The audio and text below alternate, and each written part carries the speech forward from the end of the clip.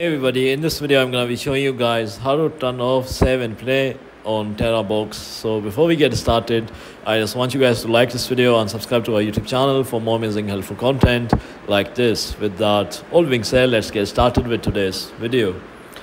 Alright, so I am at the official Terabox answer. So according to them, if you are disabled, save means you want to disable the automatic backup function. You can do it in the following way Click automatic backup in the personal center of the mobile app to enter the page and you can turn off the automatic backup function at any time. So this is how you turn off save and play on Terabox.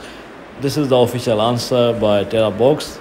You can just download the Terabox application on your iOS or Android device. So just type in Terabox and just download this software and this is how you do it. If you found this video to be helpful guys, then thanks for watching and I'll see you in the next video very soon. Peace.